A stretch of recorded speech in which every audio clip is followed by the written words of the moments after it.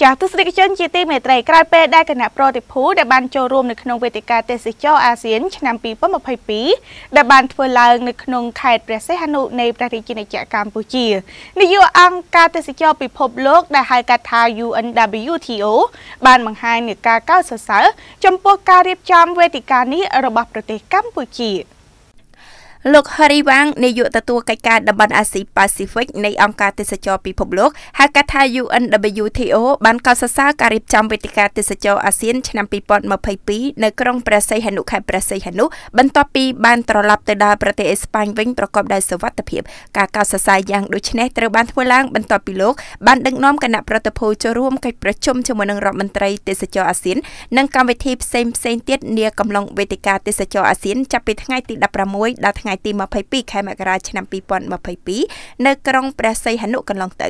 យោងតាមគណនី Facebook ផ្ទាល់ខ្លួនលោក Harry Wang បានលើកឡើងយ៉ាងដូចនេះថាផ្ដើមដោយការផ្សព្វផ្សាយស្នាក់នៅផ្ទះថ្ងៃនេះធ្វើដំណើរនៅថ្ងៃស្អែកទៅជានាំគ្នាចាប់ផ្ដើមទេសចរឡើងវិញបច្ចុប្បន្នយើងកំពុងក្លាយជាអ្នកធ្វើដំណើរដែលមានភាពវៃឆ្លាតជាងមុនប្រកបដោយភាពធន់កាន់តែប្រសើរនិងធ្វើដំណើរជាមួយ COVID-19 លោកបានថ្លែងអំណរគុណយ៉ាងជ្រាលជ្រៅដល់ក្រសួងទេសចរកម្ពុជាសម្រាប់កិច្ចខិតខំប្រឹងប្រែងដ៏មោះមុតការគ្រប់គ្រងដ៏លើសលប់បដិសន្ធារកិច្ចដ៏ប្រសើរនិងការរៀបចំល្អឥតខ្ចោះក្នុងការធ្វើជាម្ចាស់វេទិកាទេសចរអាស៊ានឆ្នាំ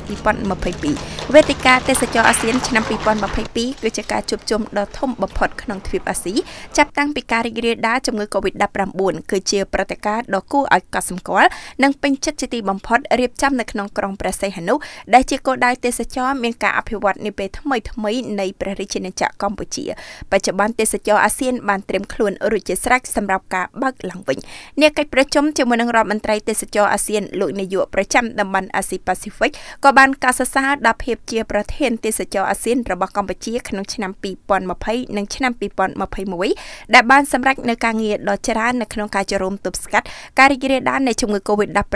ក៏ដូចជាការរៀបចំស្ដារវិស័យទេសចរអាស៊ានផងដែរលោកនាយកបានគ្រប់គ្រងពេញទំហឹងនៅការប្រកាសបើកទេសចរអាស៊ានចេញពីក្រុងព្រះសីហនុសូមរំលឹកផងដែរថានៅដំណាក់កាលដំបូងនៃការរីករាលដាលនៃជំងឺ Covid-19 អង្គការទេសចរពិភពលោកបានផ្សព្វផ្សាយយុទ្ធនាការស្ថិតនៅក្នុងផ្ទះថ្ងៃនេះធ្វើដំណើរនៅថ្ងៃស្អែកដើម្បីចូលរួមទប់ស្កាត់ការរីករាលដាលបច្ចុប្បន្នដែលយោងលើអត្រានៃការចាក់វ៉ាក់សាំងប្រសិទ្ធភាពនៃការព្យាបាលការទទួលយកការរស់នៅក្នុងកន្លងប្រក្រតីភាពថ្មីជាមួយនឹងជំងឺ Covid-19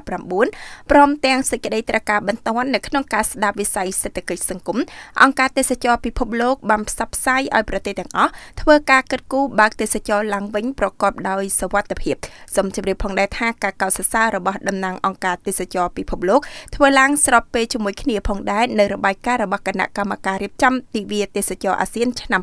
2022ថាមុនពេលចាក់ចេញពីកម្ពុជាប្រតិភូបរទេសទាំងអស់បានធ្វើតេស្ត PCR ហើយពុំមានរកឃើញករណីវិជ្ជមានណាមួយឡើយរីឯប្រតិភូក៏បានសរសេរសារអគុណនិងកោតសរសើរកម្ពុជាជាបន្តបន្ទាប់ផងដែរ។